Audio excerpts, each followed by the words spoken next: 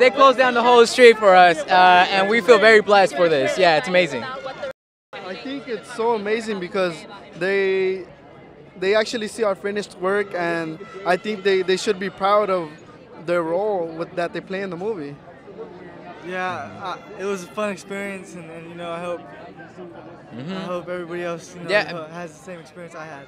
Yeah, these boys, I mean, Jim White and all the runners uh, back in the 1987 team, I mean, they, they work hard. Their, their work is undeniable, undeniable. And because of them, this is happening right now. So all of our thanks, we're so gracious for them, really. We all are. I mean, finally, for a film to come out of the cross country team, we've been hearing about it for like a while now, and just like finally coming out to theaters and everything is just exciting, and it makes a little a little town, a little humble town proud.